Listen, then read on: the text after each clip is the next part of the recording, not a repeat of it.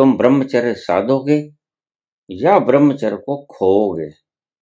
ये दोनों चीज़ें they are related to body इनका संबंध है शरीर के साथ। ब्रह्मचर्य को साधो तो भी शरीर। ब्रह्मचर्य को ना साधो, भोगो, भोगों को तो भी शरीर। और मैं कहना क्या चाहता हूँ? शरीर के पार आपको ले जाना चाहता हूँ। You are not body you are not mind क्योंकि आप इसको बड़े गहरे से चिपके बैठे हो। अब या तो उस अति को छू लोगे, या इस अति को छू लोगे। और मैं चाहता हूँ कि आप मत में ठहर जाओ। ना उस अति को छुओ जिसे ब्रह्मचर्य कहते हैं, ना उस अति को छुओ जिसे भोग कहते हैं।